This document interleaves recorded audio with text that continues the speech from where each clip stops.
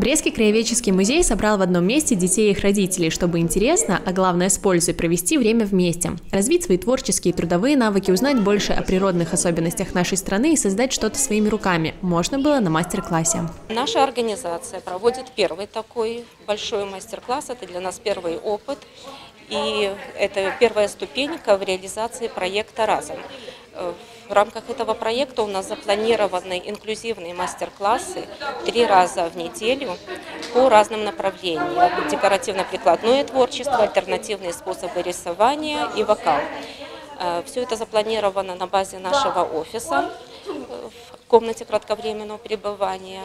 Но сегодня Кровический музей мы им благодарны, они согласились стать нашими партнерами, предоставить нам площадку.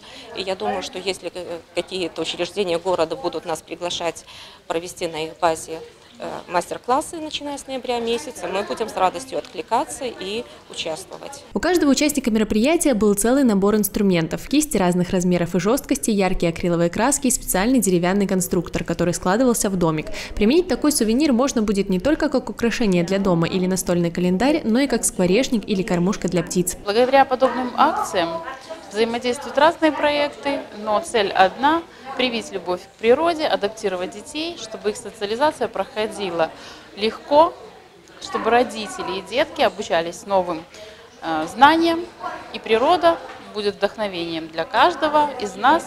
Подтверждением тому, что мастер-класс удался на 100%, стали увлеченные детские лица и искренние улыбки родителей. Создавать что-то своими руками интересно, а делать это в большой компании еще и очень приятно. Ирина Кузьмич, Эдуард Бакунович, Дмитрий Лазарчук, телекомпания Бук ТВ.